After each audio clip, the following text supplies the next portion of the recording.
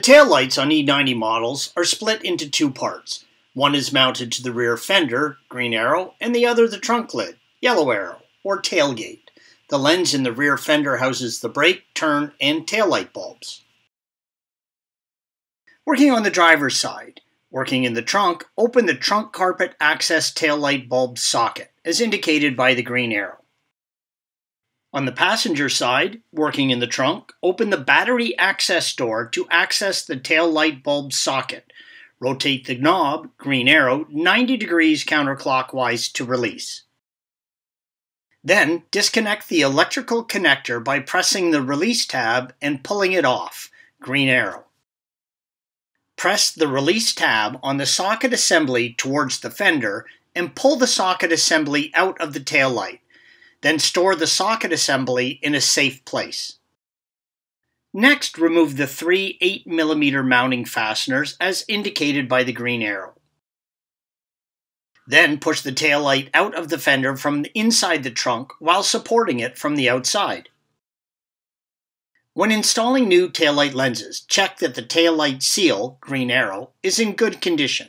Replace if necessary, if this seal leaks, water can leak into the trunk or taillight lens. Next, you will have to remove part of the trunk lid trim. I suggest only removing the plastic rivets from the side you need to repair bulbs on. Then pull the trim away from the trunk lid to access those bulbs.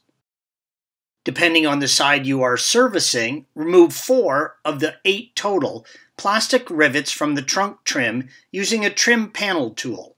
The rivets are indicated by the green arrows. This photo shows removing the center of the rivet using a trim panel tool. Be careful, these have a tendency to pop out once released and go flying. Once rivets on the side you are servicing have been removed, pull the carpet trim away from the trunk lid.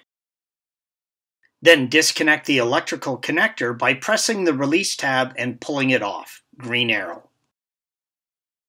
Press the release tab on the socket assembly and pull the socket assembly out of the taillight. Then store the socket assembly in a safe place. Working at the rear of the trunk mounted lens, loosen the mounting fastener, green arrow. Then press the taillight locking tab, green arrow, in towards the lens and release the lens from the trunk lid.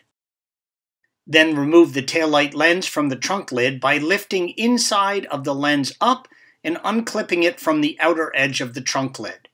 When installing new taillight lenses, check that the taillight seal is in good condition and replace if necessary. If this seal leaks, water can leak into the trunk or the taillight lens. Thanks for watching. Click here to view the original article along with hundreds of other DIY content for your car.